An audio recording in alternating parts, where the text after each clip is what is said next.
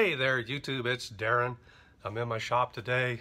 I'm going to show you, we have a Grand Design Imagine 2150 RB and it has Arctic insulation, four season protection. And I am going to get under the camper and show you what that exactly is. So basically corrugated plastic, mylar sheeting, and then your exposed underbelly. And over there is the uh, water lines. So the, the theory behind this is the furnace blows heat into this uh, enclosed underbelly and then that sheet uh, contains a heat, um, reflects it back and it holds it up into the underbelly. It's a very small space. Uh, you're supposed to get airflow back here and I can just barely stick my hand through that space up there. And then these are your exposed water lines you know, that come across here. Uh, this is really hard to film. I'm kind of just rolling around.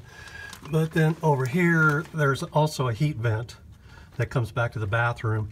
And there's actually up in there really no space for airflow to get back here. And then this heat vent pops up into the shower.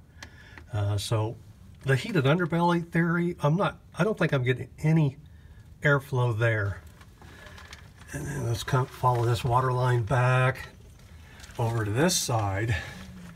Uh, the only place I'm thinking I could get possible airflow is up there. And I've turned the furnace on and, and held my hand up there and I don't feel any airflow. That's my concern.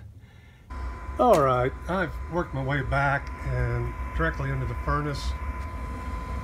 You can hear it running directly under the furnace here. Um, the water lines, you can't see them. They're actually behind this exposed uh, I-beam. They're right up under there. So I've dropped this underbelly all the way to the furnace. I, I'm confused, folks. I, I feel no airflow. No airflow at all. All right, I'll admit I'm totally confused. Uh, I I pulled that. I I was expecting to see the uh, a uh, plume coming down from the furnace into the uh, heated underbelly, um, like a four inch or three inch or two inch or whatever. I went all the way to the furnace and uh, I, folks, I didn't see any heat vent dumping into the heated crawl space. I'm confused. I don't know. Um, there was no airflow. I showed you that on the video. And I, I was going to physically see a heat vent that dumped into there. I thought it circulated air. And I had the furnace running and with my hand, I felt no airflow. And I, I physically see no vent dumping into that space. So I'm confused what a heated crawl space is. If somebody out there knows in the comment, let me know. Um, my understanding of a heated underbelly was that the furnace dumped air directly into it and circulated around. Um, but you seen on the video, there's no vent there.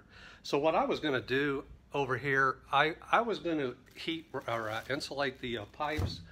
I got heat tape here and then we were gonna wrap them.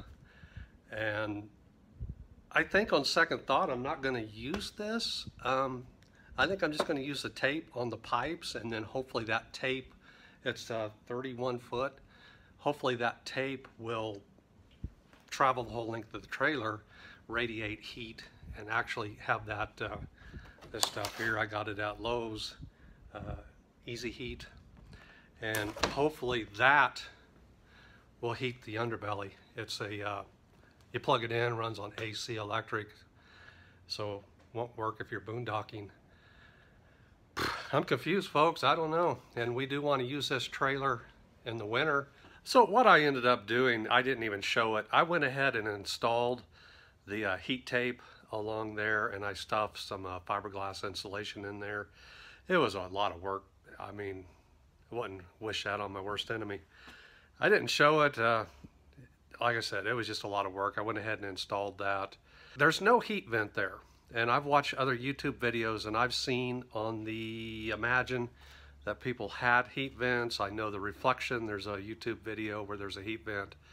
And people, I'm telling you, there is no heat vent on this 2150 RB. I looked both sides, I took that down, there's no heat vent.